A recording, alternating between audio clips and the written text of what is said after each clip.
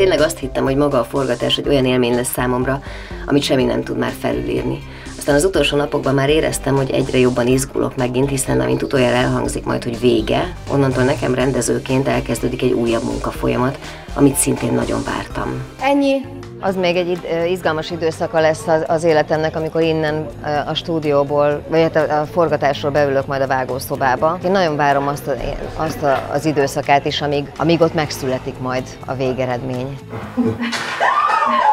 A végeredmény megalkotásában egy csodálatos vágó segített engem. Az egész szint egyben volt, aztán leválasztották. A forgatás harmadik napján leülök, és folyamatosan vágom, amik ők forgatnak, és akkor minden jelenetet rendszerint ebben az esetben ugye elküldöm nekik, megbeszélem, hogy mi kellene, mi van, hogy van, összeállítom gyorsan, és akkor azt ők már mindjárt tudják, hogy hogy javítsák ki és akkor így megyünk tovább. De ez is jó. Ezzel kelek, ezzel fekszem, és akkor mikor megvan az első nagy vágás, körülbelül a forgatás végénél rá, mit tudom, egy hétre vagy kettőre, és akkor jön a finomítás. Elesett. És?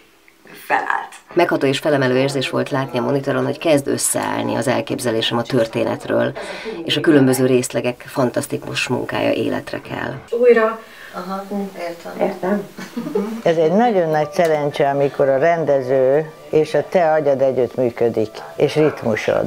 Az egy álom dolgozni. Úgyhogy ebben az esetben is nagyon nagy szerencse volt a Kata, mert én ugyan ismerem őt már rég, de így még nem dolgoztam vele, de százszázalékosan élveztem, ahogy dolgoztunk együtt.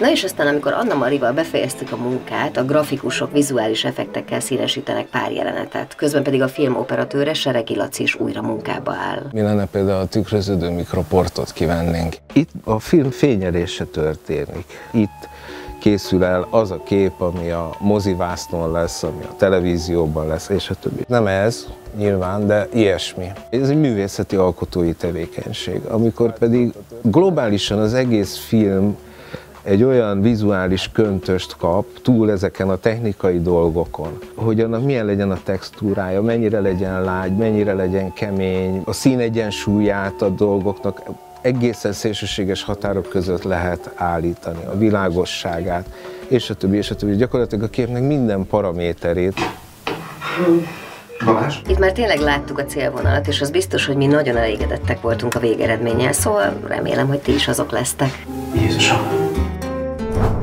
Kölcsönlakás. Dobókat a filmje.